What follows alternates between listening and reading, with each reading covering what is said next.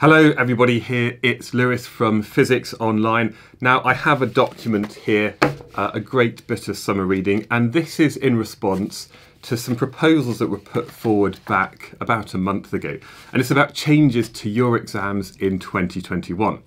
Now they've uh, put this uh, thing out for people to review, they've asked people's opinions, and they've made their decisions. So these are the changes that will affect you over the next year. It's going to affect your teachers, and it's going to tell you exactly what's going to be in your exams in 2021. Now, the big thing is that for physics, there's basically no change to the content whatsoever, both at GCSE and A level. So everything that's in your course specification, you have to learn all of it. The only change is that you don't actually have to do all of the practical activities. Instead, you can watch a demo or you can see a video of it online. And this year, I'm going to be spending a lot of time making physics videos where I go through every single practical experiment that you need to know about for your physics course. Now, um, if you actually have a look in the document itself, um, and you can download it yourself and have a read through it, there's loads of stuff here and it talks about all of the different subjects that you might be doing.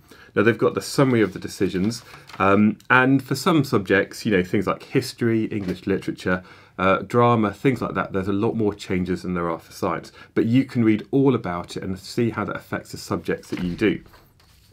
Now, this thing over here, this is important they're not going to change the length, the number or the format of the exam papers. So when it comes to looking at the 2021 papers, they're going to be the same as what there was in 2019, 2018. And actually, in a way, that's quite good because your teachers know how to uh, prepare students for these style exams and all of the past exam papers that you can see online these are going to be really useful when it comes to preparing for exams in the future, especially for science.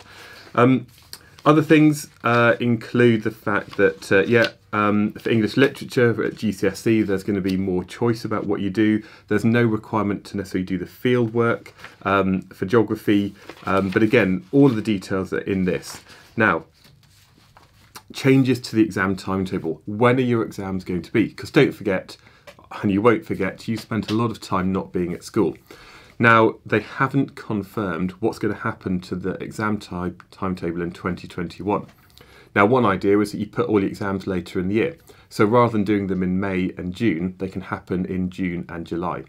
Now, the problem is if you push the exams back, there's going to be less time for people to actually mark the exams, to check all the marking, to come up with the grade boundaries, sort out the results and send them out to schools.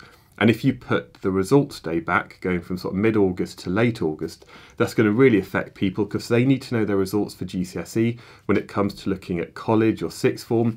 And people at A level, they need to know what they're going to be doing in terms of going to university. And those dates are there for a reason.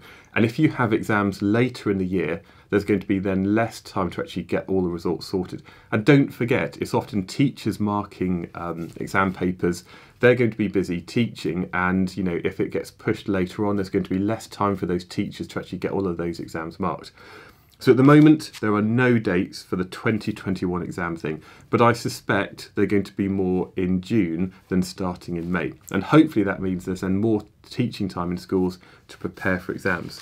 Um, so yeah there's loads of stuff here. Um, one thing it did look at was about how this might affect some students. Because quite frankly, if you're a student who's going to an independent school, you probably have more resources at home, you might have been doing more online learning, and you're probably better prepared than maybe some students from different backgrounds. And it does say about uh, you know students who are maybe young carers, uh, people with um, SEND, uh, maybe BAME students as well. And they don't really have an answer about how you know some people have been more affected than this pandemic than others. But effectively, what they said is these are national exams, and it's very hard to um, adjust the exam to take into account the fact that some people have been more affected than others. Um, there's also the appendix here, and again, just going through this appendix, um, biology, chemistry, combined science, and later on physics. What it says is that there's um, at GCSE level uh, permit the observation of demonstrations and or simulations to cover the required apparatus and techniques. Now, rather than having to do these core or required practicals, you don't physically have to do them yourself, but it's you still need to know about them. You still need to know about how to measure and then calculate density, for example. But rather than it being a whole class practical where all of you take the measurements, it might be that your teacher at the front is doing a demonstration of that equipment. And this might be difficult if you're not actually in a science lab for all of your science lessons.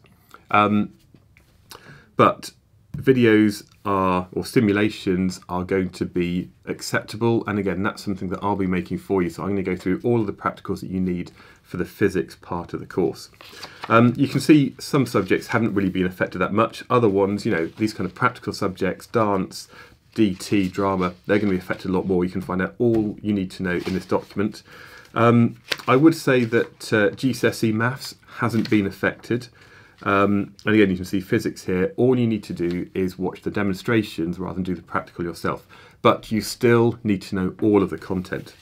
When it comes to A-level, um, let's look through this. Um, something I did notice that pretty much most people doing physics are doing maths as well. No change to maths. So your A-level maths is the same as it would have been otherwise.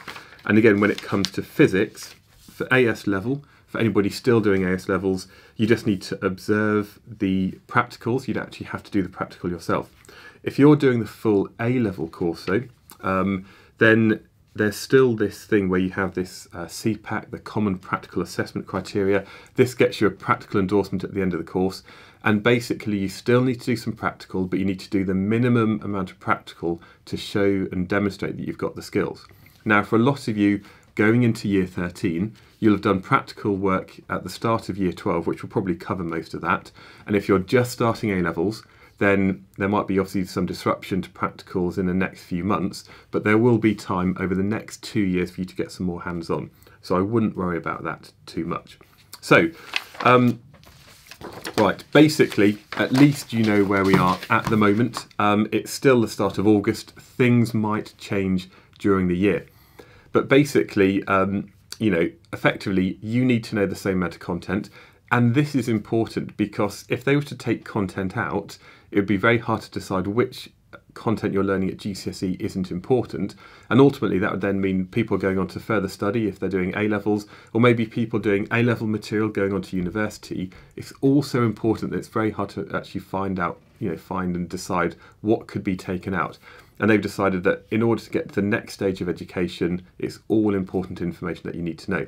Now, it is going to be hard for you, um, especially going into schools which are going to be a bit more disrupted than normal.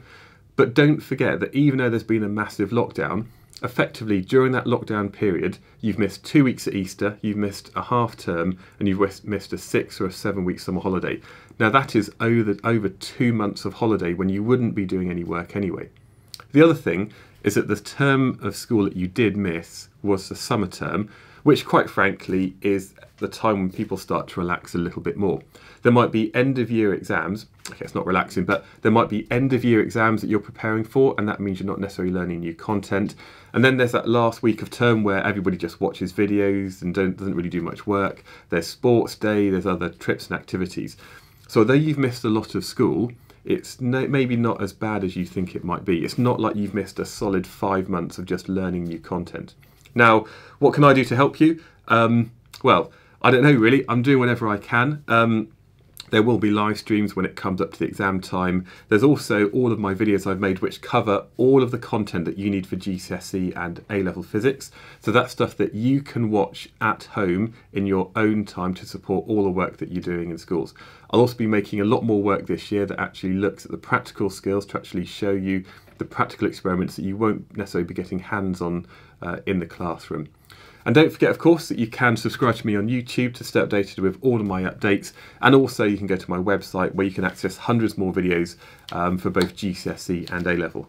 So, let me know what you think. Um, it's not perfect, but I think it's um, it's just the way it is, and there's nothing we can really do to change it now. So, basically, you've got to learn the same amount of stuff. You won't be doing the practical things, and if you want to find out more information, just have a read through the document. It's quite boring, but it's the appendix that says for each subject what the changes are going to be.